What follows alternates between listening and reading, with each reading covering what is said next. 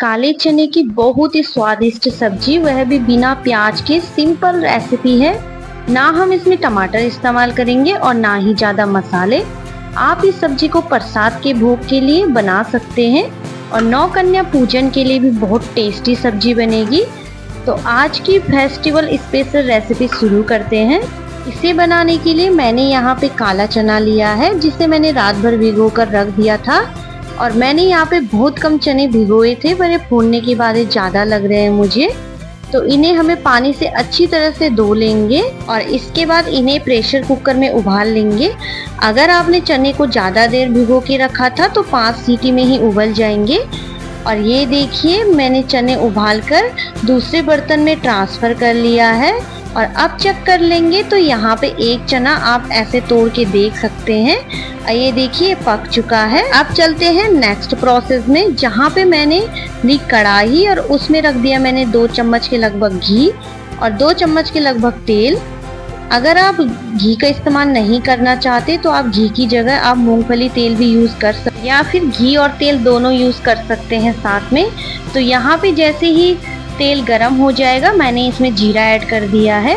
और जीरा अच्छे से चटक जाए, तब मैं इसमें मसाले ऐड करूँगी। जीरा पक जाएगा, आप इसमें अदरक और हरी मिर्च भी ऐड कर सकते हैं।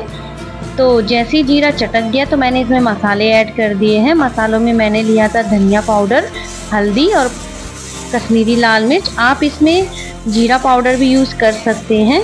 और इनको अच्छे से मिला लेंगे। हमें इस टाइम पे लो रखना है। और अगर आपको लगे कि मसाले जल रहे हैं तो नीचे से तो थोड़ा पानी डालकर मसालों को अच्छे से पका लें और इन्हें दो मिनट तक पका लेंगे। और दो मिनट बाद ये देखिए आप देख सकते हैं हमारे मसाले पक चुके हैं। जैसे ही मसाले अच्छे से पक जाएँगे तो मैं इसमें एक उबला हुआ आलू ले रही हूँ और इसे मसालों के साथ ऐड कर लेंगे। और इस टाइम पे इसमें स्वाद अनुसार नमक ऐड कर लें और अब हम इसे अच्छे से मिलाने के बाद इसमें चना ऐड कर लेंगे। आप चाहें तो आधे चनों को मैश करके डाल सकते हैं ताकि ग्रेवी गाढ़ी हो जाए। और इसमें चना ऐड करने के बाद इसे हमें अच्छे से पका लेना है। अगर आपको तरी वाली बनानी है तो यहाँ पे पानी ऐड कर ले और अगर सूखी चाहिए तो इसे थोड़ी देर ऐसे ही धीमी आँच में पकने दें। तो मैं यहाँ पे तरी वाली बना रही हूँ तो मैंने इसमें पानी ऐड कर लिया है। हमें धीमी आँच पे 15 मिनट पकने देना है और बीच बीच में चलाते रहेंगे ढक्कन हटा के, ताकि हमारी जो सब्ज़ी है वो नीचे ना लगे। और ये देखिए कितनी बढ़िया लग रही है। और अब हम गैस को बंद कर लेंगे और धनिया पत्ता कट करके डाल लेंगे। और जो दिखने में जितना सिंपल है, खाने में ही उतना टेस्टी होता है। मज़ेदार रेसिपी आप भी ट्राई कीजिएगा। आपकी फैमिली को बहुत पसंद आएगी।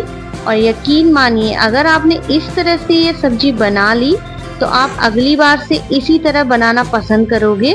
तो अगर वीडियो पसंद आए तो लाइक शेयर सब्सक्राइब करना ना भूलिएगा। और ज़्यादा से ज़्यादा शेयर कीजिए।